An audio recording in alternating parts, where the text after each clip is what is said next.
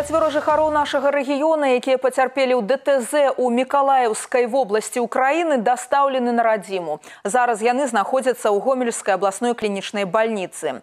Ранімабілі з пацыентамі прыехалі ў гомель увечары ў суботу. Шлях ад крывога возера да абласнога цэнтра заняў больш як 10 гадзін.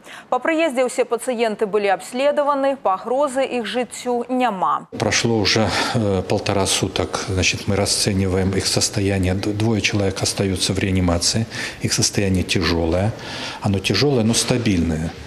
Необходимые проводятся лечебные мероприятия, диагностический осмотр специалистов. И два человека находятся в профильных отделениях, в лор-отделении и в травматологии. Большое спасибо нашим украинским коллегам. Квалифицированно оказали первую медицинскую помощь, диагностировали тяжесть травм, провели необходимые медицинские мероприятия. Ну и человеческое отношение, конечно, профессиональное отношение было на, на высоте. Все-таки принят 12 человек, помочь с оформлением документов, не говоря уже о медицинской помощи. Яшчэ двое беларусаў застаюцца пад наглядам украінскіх медыкаў. Нагадаем, аварыя адбылася 4 кастрычніка ў крываазёрскім раёне ўкраіны. Мікрааўтобус з гомельскімі нумарамі сутыкнуўся з грузавым кранам. У выніку ДТЗ пацярпелі сем чалавек, у тым ліку 6 грамадзян Беларусі.